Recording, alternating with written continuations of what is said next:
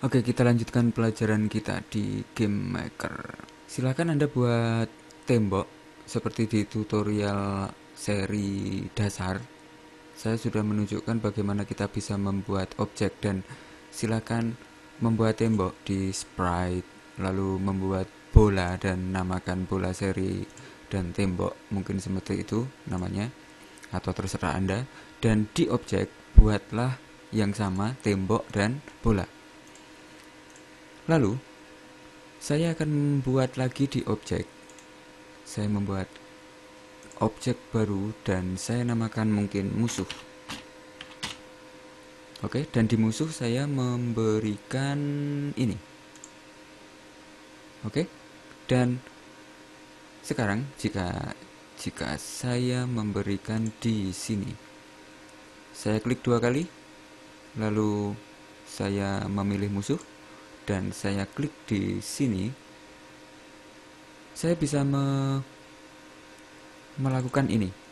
Secara dasar, musuh akan bergerak ke ke beberapa tempat saja. Itu yang yang musuh biasa. Dia hanya mengganggu pemain utama, intinya seperti itu. Dan di sini Oke, sebelumnya di uh, di musuh saya memberikan titik tengah saya klik center, saya klik OK. Di sini saya memberikan event dan create, lalu saya memberikan random. Di sini saya akan mempunyai musuh yang yang lumayan pintar. Dia dia bisa mengacak perjalanannya sendiri. Dan di sini saya memberikan random dan di random saya memberikan 360 sesuai dengan sudut lingkaran. Dan di sini kecepatannya saya memberikan mungkin uh, uh, 3 dan saya klik OK. Selanjutnya di sini saya memberikan mungkin bound atau oke okay, collision. Saya memberikan collision. Jika dia bercollision dengan tembok. Dan di sini saya memberikan random juga. Oke, saya memberikan random juga dan di sini random. Kurung buka kurung tutup. 360 dan kecepatannya sama 3 oke seperti itu. Dan oke apalagi yang belum saya mengaturnya sebagai solid. Saya klik OK dan saya coba. Oke. Sekarang saya sudah mempunyai musuh yang bergerak semacam itu. Oke, dia acak. Pergerakannya acak dan saya mau membuat musuh lagi yang agak pintar sedikit. Dan oke, mungkin saya membuat objek baru lagi dan di sini saya memilih musuh pintar.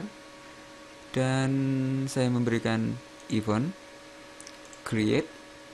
Dan di sini saya memberikan oke okay, sama random.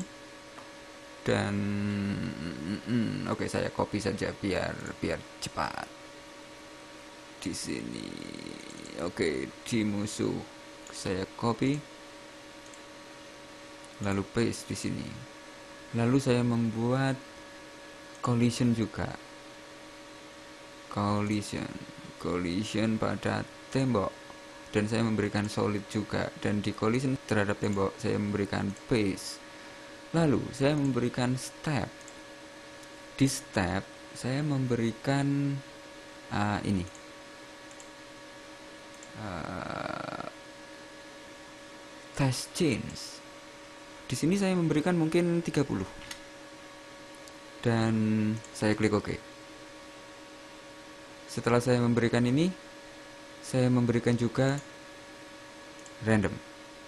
Oke chainnya saya taruh atas. Dan jika saya memberikan uh, oh saya belum menamakan dan saya memberikan nama musuh P.